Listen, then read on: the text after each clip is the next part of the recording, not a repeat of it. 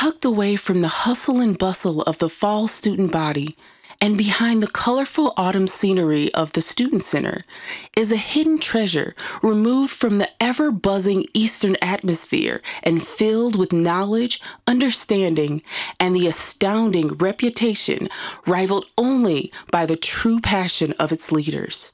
The DRC or Student Disability Resource Center has been a vital resource for students with disabilities for many years.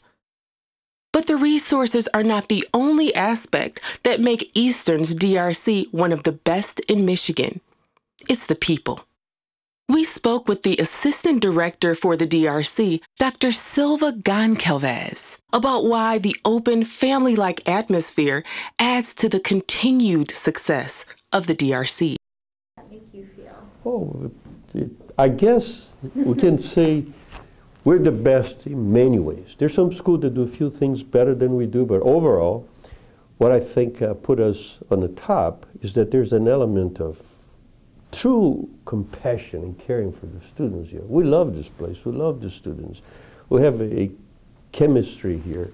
Our students walk in, the first thing they get is a glass of water, a cup of coffee, a welcome.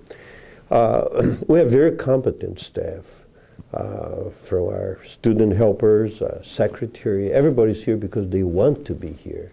We all had jobs before we came here. So we came here because we chose to, and of course we're lucky enough to be offered a position, but uh, uh, we, we're doing very well because we don't create too many barriers. Some schools uh, make it very difficult for students to get accommodation. They want to complete assessment, psychological reports, uh, long, detailed evaluations. We don't. We say, just come in and we'll help you out in any way we can. And uh, myself and my colleagues, we're qualified to do some basic screening, so when you see a disability that's uh, quite obvious, or if not so obvious, at least there are clinical elements that we can identify, we can go ahead and accommodate the student. And of course, to to help the student if a, a referral is needed for further assessment, evaluation. We encourage that because sometimes students come in with uh, some misleading diagnosis they've been carrying with them since high school, and if tested appropriately, we may find out they actually have some different diagnoses than previously thought. As our interview continued, Dr. Silva further explained the benefits, mission, and stigma surrounding the Student Disabilities Resource Center. Students can come here for anything. If they want a place to study, they can use the conference room. They, they want a place just to rest and chat. But we don't have a lot of study areas here they, they normally would go to, to a Holman learning center or the various, the two nice places at the student center with fireplaces and all that. They have a lot of places to study. But occasionally we do have students come here and use the conference room. The main mission is to support students and to make sure we are operating consistently with policies, procedures, and federal laws to assure students have equal access to education. Yeah, so uh, as, as you said, uh, there are some physical disabilities that are very evident. A person missing hands or arms, or a person who's blind, um, person in a wheelchair.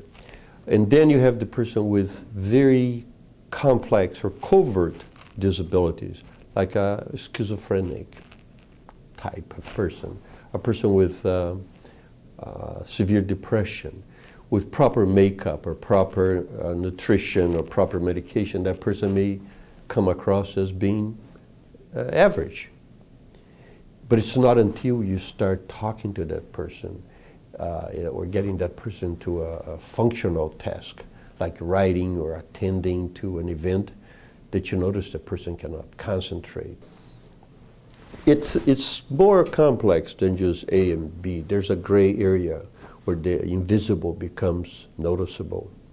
And the visible becomes unnoticeable because a lot of people in a wheelchair function so well. Whether it's special accommodations during the semester, effective career training after graduation, or just being a listening ear.